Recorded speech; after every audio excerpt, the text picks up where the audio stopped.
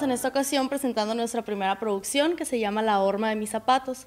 Es una producción que estamos rescatando de un trabajo unipersonal de la directora Angélica Gómez, que muestra la vida de las mujeres en distintas situaciones, distintas circunstancias. Son mujeres como tú, como yo, que expone su vida, sus sueños, sus ilusiones, sus vaya su manera de ver la vida y las cosas.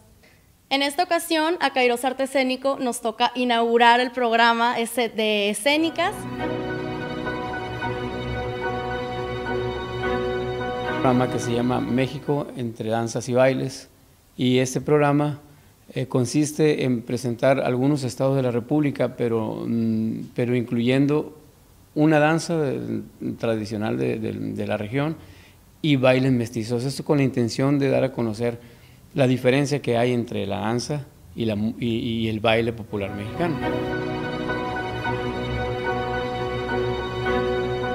Nosotros lo que hacemos con Hábitat es teatro documental, eh, aunado con este teatro del biodrama.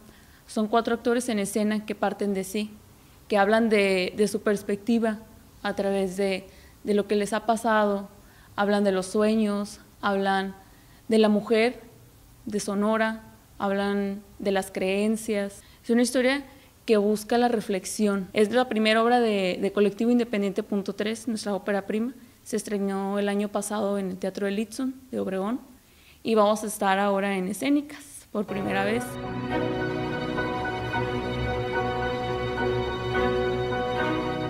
Mujeres indómitas. Este espectáculo juega con lo misterioso que es el matrimonio, con la intimidad, la verdad que los otros quieren oír, la intimidad que es secreto a voces, el dolor, la mentira, la rabia, la infidelidad, que es un lugar común de cualquier, de cualquier pareja.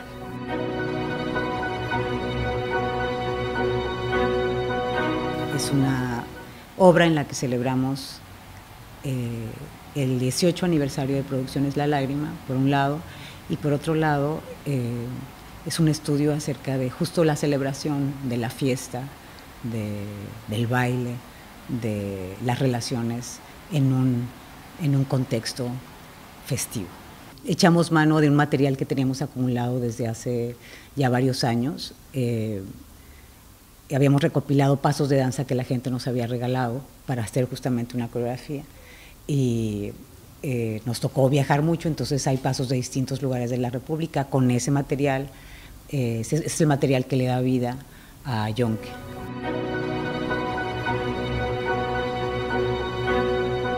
Corazón de Melón se integra por 13, por 13 personas, 13 artistas, 8 músicos, 4 vedettes, todas cantan, todas bailan y actúan. Es un show disfrutable, muy alegre, muy rico visualmente, auditivamente. Tenemos un ensamble vocal, un ensamble musical dirigido por el maestro Jorge Treguarta solo adultos, para que sea más disfrutable y podamos abrirnos más al, público.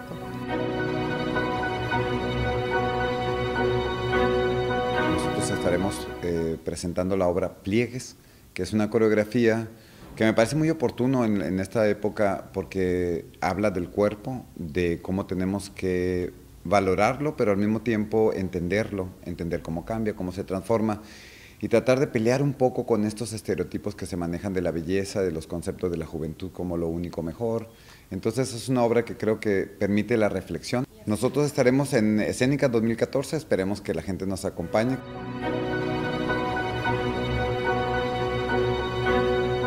Esta ocasión vamos a dar este, la función de una de las tres obras que componen la trilogía Alonso del Zaguaral. Es un tema de extraordinaria actualidad, a pesar, digo, de, encontrarse en el Quijote, de ser un tema que aborda de manera muy específica, muy interesante Miguel de Cervantes con la bella Marcela, se trata de la, de la agresión y de la violencia contra la mujer.